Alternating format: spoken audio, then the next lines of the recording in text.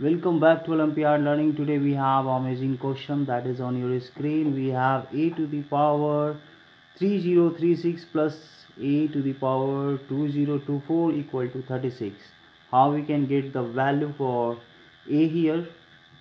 Let's proceed to solve this one. Here you can see that this number is greater than this number and we can get the common from both by taking e to the power 2024 as common. So here I can write here you know that is 1 0 and just you know 36 minus 24 is coming you know 1 and here 2 plus 2024 so this gives us 3036 plus we have a to the power 2024 that is equal to 36 now I can easily extract the common from both here. This is giving us a to the power 2024 and we have remaining here a to the power 1012 plus this is going to be taking common. So here 1 and here 36 now this one you can focus here a to the power 1012 and here we have a to the power 2024 obviously this number is just double of this number. So we can take this one as uh, another variable. Let a to the power 1012 can be considered as x. And if I'm just you know putting a square over here 1012 square so this number is going to multiply here so instead of a to the power 1012 we can put here x. Here we have x square and this number is giving you a to the power 2 multiply 1012 that is giving you 2024 that is x square.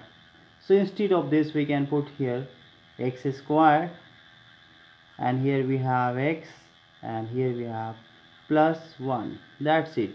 And here we have 36 now we can see easily here this is what this is just factor of 9 uh, 4 and 9 is just a square of 3 so here 3 is square and 4 can be write as okay 3 plus 1 because I need to put here you know bases. Here you can see that bases are same here 3 and just you know th that here 3 and here it's a square is here. In the same way you can see here this one this one.